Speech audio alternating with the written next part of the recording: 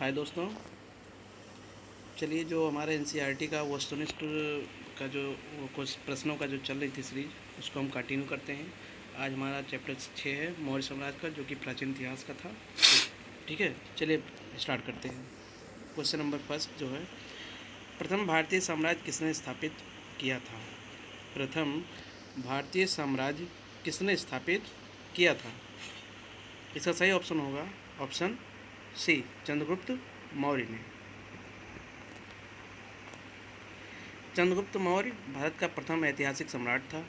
चंद्रगुप्त मौर्य का जन्म 340 ईसा पूर्व में पाटलिपुत्र में हुआ था। चंद्रगुप्त मौर्य ने लगभग 322 ईसा पूर्व में अपने गुरु विष्णुगुप्त अथवा चाणक्य, जिन्हें कौटिल्य की सहायता जिन्हें कौटिल्य भी कहा जाता है, की सहायता से मगध साम्राज्य के अंतिम शासक घनानंद को पराजित कर मौर्य साम्राज्य की स्थापना की, तथा इसकी राजधानी पाटिलपुत्र बनाई। इसने मगध पर 24 वर्षों तक शासन किया, एवं भारत को सर्वप्रथम राजनीतिक रूप से एकबद्ध किया। बौद्ध एवं जैन ग्रंथों में उसे मौर्य क्षत्रिय कहा गया है। क्वेश्चन नंबर दो। सैंड्रो कोट्स की चंद्रगुप्त मौर्य के रूप में पहचान किसने की? सैंड्रो कोट्स की चंद्रगुप्त मौर्य के रूप में पहचान किसने की? इसका सही आंसर होगा ऑप्शन ए, विलियम जोन्स ने। सर्वप्रथम सर, विलियम जोन्स ने सेंड्रो कोट्स की पहचान चंद्रगुप्त मौर्य से की थी।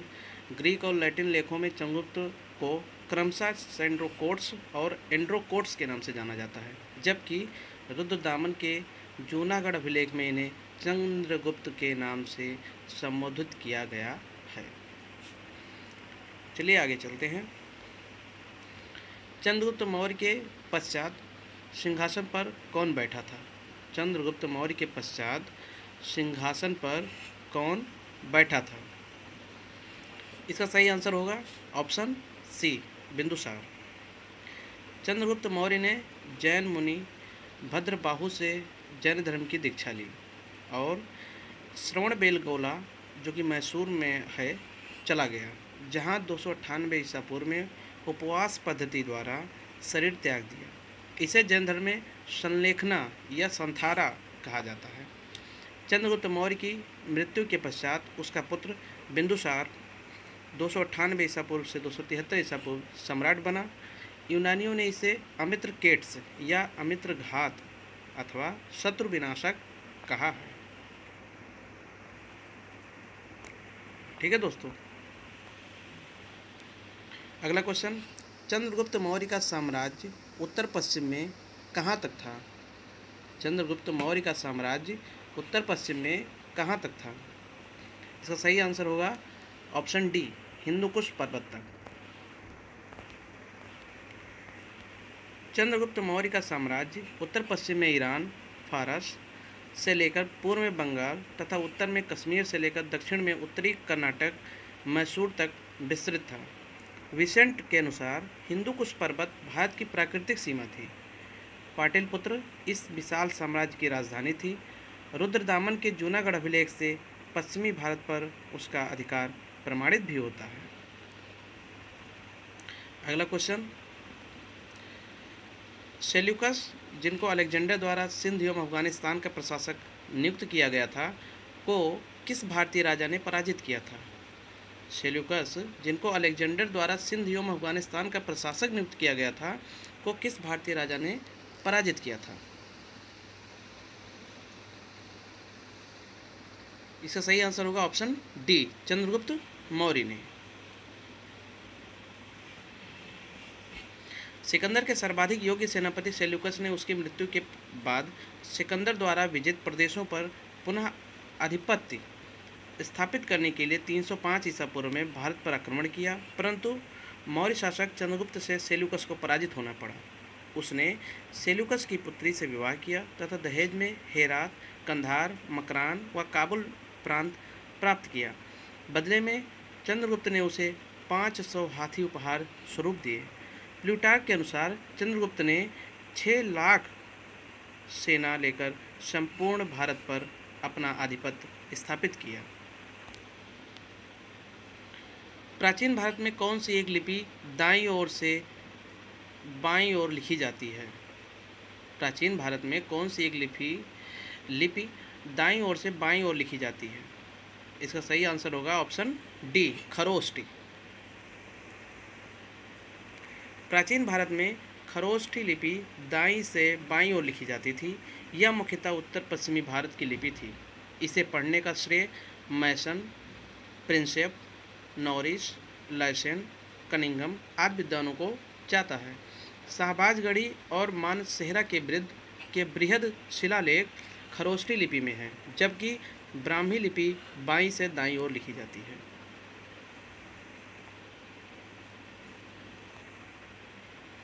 क्वेश्चन नंबर सात, चंद्रगुप्त मौर्य के दरबार में भेजा गया यूनानी राजदूत कौन था? चंद्रगुप्त मौर्य के दरबार में भेजा गया यूनानी राजदूत कौन इसका सही ऑप्शन होगा option C Megasthenes. Chandragupta Maurya के दरबार में यूनानी शासक सेल्यूकस निकेटर ने मेगस्थनीज नामक राजदूत भेजा। चंद्रगुप्त ने पश्चिमोत्तर भारत में तत्कालीन यूनानी शासक सेल्यूकस निकेटर, जो सिकंदर का सेनापति था 305 ईसा पूर्व में पराजित कर दिया। मेगस्थनीज ने इंडिका नामक पुस्तक में मौर्यकालीन सामाजिक, आर्थिक एवं राजनीतिक व्यवस्था का विस्तृत विवरण दिया है, जबकि पाटलिपुत्र को समानांतर चतुर्भुज कहकर पालीब्रोथा के नाम से संबोधित किया तथा नगर के पदाधिकारियों को एस्टिनोमाई कहा।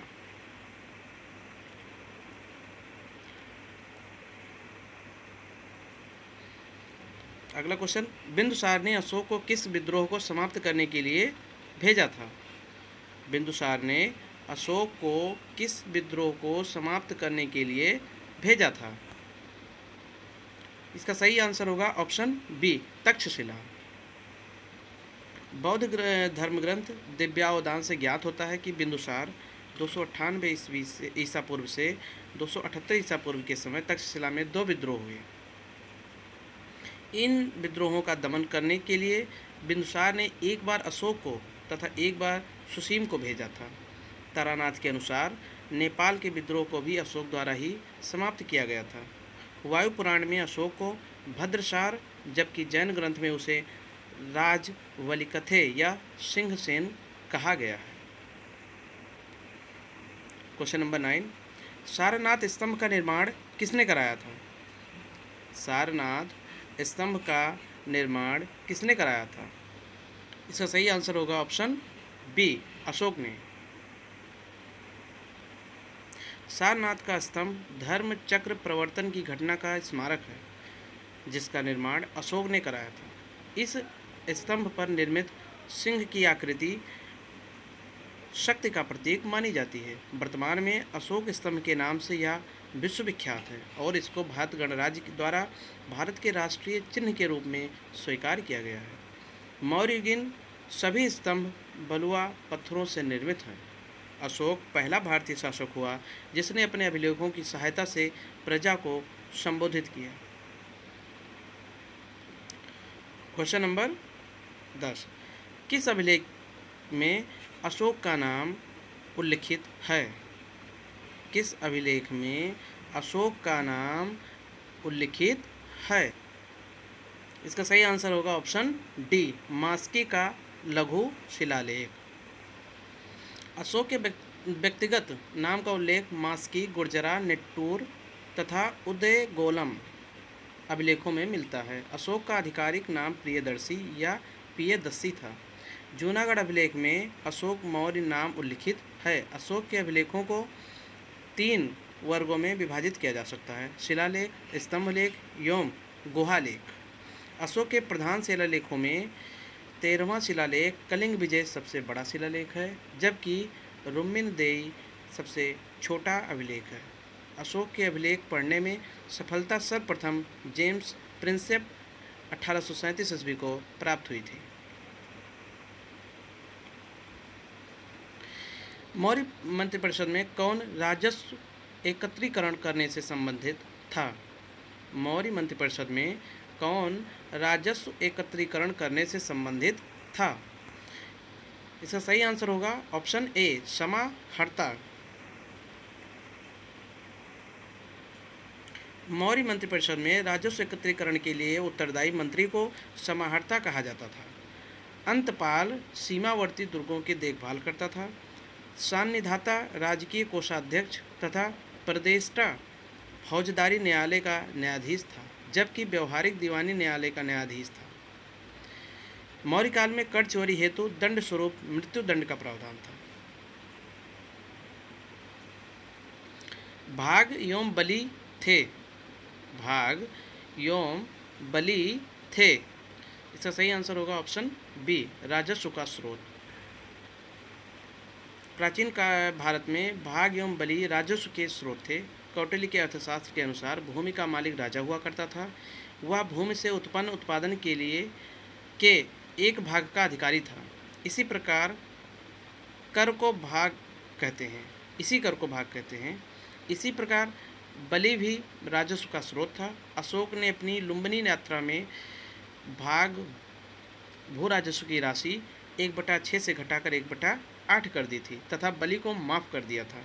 अर्थशास्त्र में बलि का तात्पर्य उपकर से है। जो राजा उपज के अतिरिक्त भाग को प्रजा से लेता था, राजकीय भूमि की व्यवस्था करने वाला प्रधान अधिकारी सीता अध्यक्ष कहलाता था। किस स्तंभ में अशोक ने स्वयं को मगध का सम्राट बताया है? किस स्तंभ में अशोक ने स्वयं को मगध का सम्राट बताया है? इसका सही आंसर होगा ऑप्शन डी, भाब्रू स्तंभ। भाब्रू स्तंभ लेख में अशोक ने स्वयं को मगध का सम्राट बताया। यह अभिलेख अशोक को बौद्ध धर्मावलंबी प्रमाणित करता है। भाब्रू अभिलेख में अशोक ने स्वयं को मगाधराज या मगध अधिराज कहा है। अशोक ने भाब्रू अभिलेख में बुद्ध, धम्म तथा संघ के प्रति आस्था व्यक्त की है। क्वेश्चन नंबर फोर्टीन रज्जु कौन थे? रज्जुक कौन थे? इसका सही आंसर होगा ऑप्शन बी, मौर्य शासन में अधिकारी। अशोक के तीसरे अभिलेख में रज्जुक नामक अधिकारी का उल्लेख मिलता है। रज्जुकों की स्थिति आधुनिक जिलाधिकारी जैसी थी, जिसे राजस्व तथा न्याय दोनों का अधिकार प्राप्त था। अशोक के जो प्रमुख शिलालेख संगम राज्य के विषय में हमें बताते हैं, उनमें सम्मिलित हैं। अशोक के जो प्रमुख शिलालेख संगम राज्य के विषय में हमें बताते हैं, उनमें सम्मिलित हैं। इसका सही ऑप्शन होगा ऑप्शन सी दो और नौ। सॉरी दो और तेरह शिलालेख। अशोक के द्वितीय शिलालेख में समाज कल्याण, मनुष्य, पशु, चिकित्सा व तेरहवें शिलालेख में कलिंग युद्ध के वर्णन के साथ। ही दोनों शिलालेखों में पड़ोसी राज्यों के भी जानकारी प्राप्त होती है। जिनमें संगम राज्यों, चोल, पांड सत्यपुत्र एवं केरल पुत्र प्रमुख हैं। नवा शिलालेख धम्म समारोह की चर्चा तथा ग्यारहवा शिलालेख धम्म नीति की व्याख्या से संबंधित है।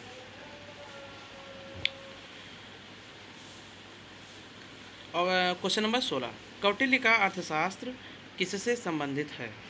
कौटिल्य का अर्थशास्त्र किससे संबंधित है?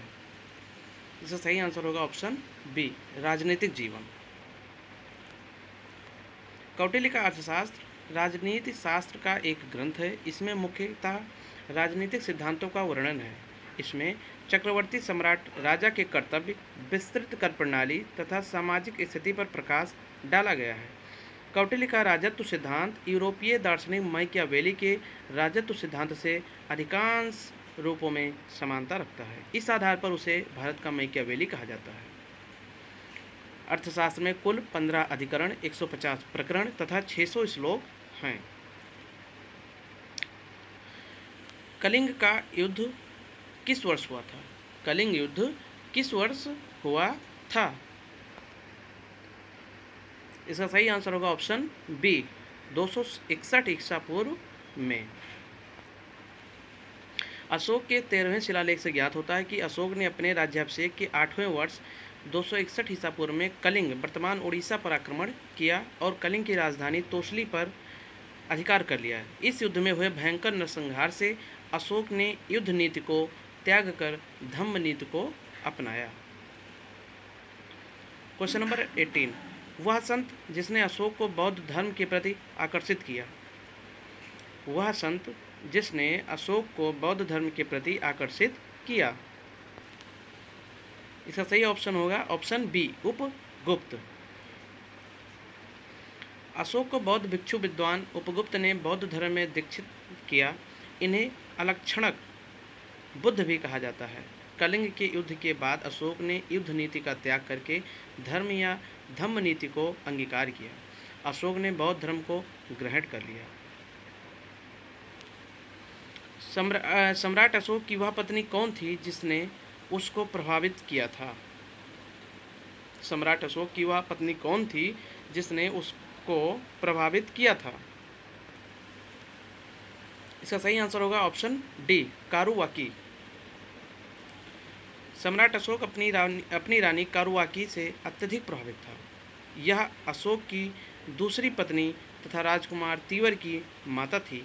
यह एक मछुआरे की पुत्री थी। अशोक द्वारा उत्कीर्ण कराए गए अभिलेखों में उसकी एक ही रानी कारुवाकी का उल्लेख मिलता है। क्वेश्चन नंबर बीस।